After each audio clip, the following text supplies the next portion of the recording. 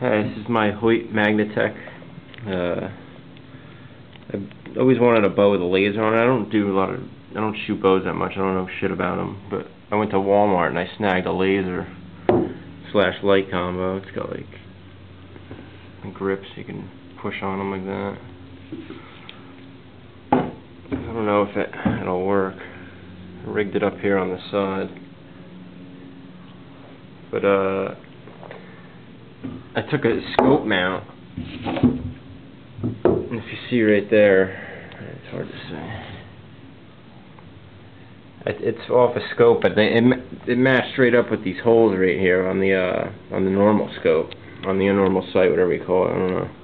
I don't know the correct terminology for all you hillbillies out there. But uh, I ran the screws in through one side before I. First, I took this off, and then I. Uh, I put the screws to mount this on the inside, and then I had to I had to take a grinder and kind of grind away on the edge right there so I could fit the Allen key in to fasten the normal sight.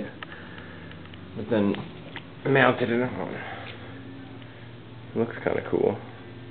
Probably has no use. I really don't know. I'll give it a shot in a little bit. I'll try it out. And that's it.